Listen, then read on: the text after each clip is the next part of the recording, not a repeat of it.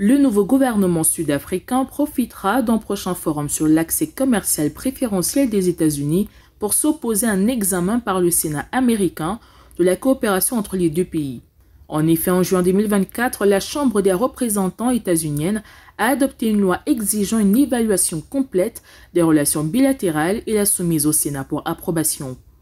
Les groupes de pression sud-africains ont averti que la législation menaçait de freiner le commerce avec la plus grande économie du monde à un moment où le pays doit accélérer la croissance économique pour lutter contre les inégalités généralisées. Selon les économistes, un examen des liens pourrait compromettre l'accès de l'Afrique du Sud à l'African Growth and Opportunity Act AGWA, qui offre au pays un accès à une franchise de droit au marché américain, le commerce bilatéral entre les deux pays s'étant élevé à 23,7 milliards de dollars en 2023.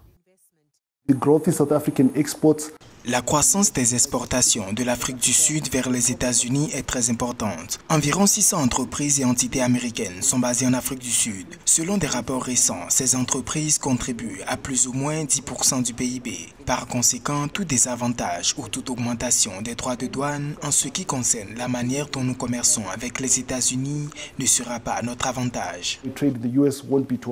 Les législateurs états-uniens ont appelé à la révision des relations en février 2024 après que l'Afrique du Sud a poursuivi Israël devant la Cour internationale de justice pour des allégations de génocide. La législation qui a été adoptée par la Chambre basse du Congrès états-unien par un vote de 272 contre 144 voix en tant qu'amendement à un autre projet de loi n'est pas encore une loi. Il doit être adopté par le Sénat et promulgué par la Maison-Blanche.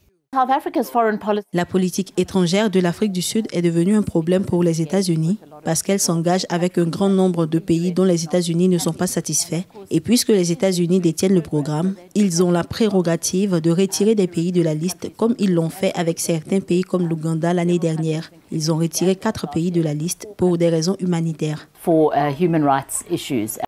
Les États-Unis sont le deuxième partenaire commercial de l'Afrique du Sud après la Chine et constitueront un élément crucial des efforts du nouveau gouvernement pour relancer l'économie. Pour le pays d'Afrique australe, l'AGUA offre un accès préférentiel pour environ 20% de ses exportations vers les États-Unis ou 2% de ses expéditions dans le monde.